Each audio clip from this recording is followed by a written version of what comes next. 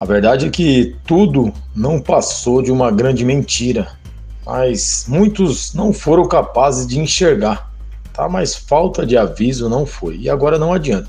Quem votou nesse cara aí, quem votou nele, ainda fica pensando na idolatria.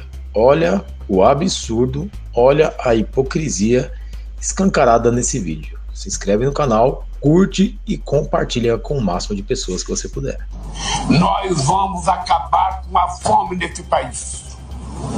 Nós vamos fazer as pessoas comer três vezes ao dia.